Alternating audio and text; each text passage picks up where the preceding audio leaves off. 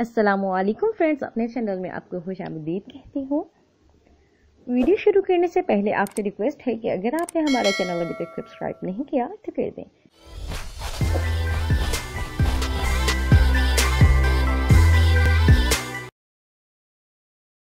ये हम सब जानते हैं कि निदा यासिर हाल ही में कोरोना वायरस जैसी बीमारी से रिकवर हुई है।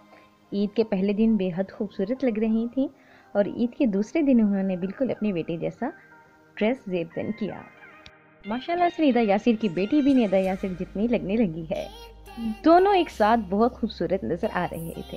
ये कहना गलत नहीं होगा कि निदा यासिर अपनी बेटी से ज़्यादा खूबसूरत लग रही थी। हालाँकि उनकी बेटी ज़्यादा जवान है। दोनों का ड्रेस भी इंतहा खूबसूरत था।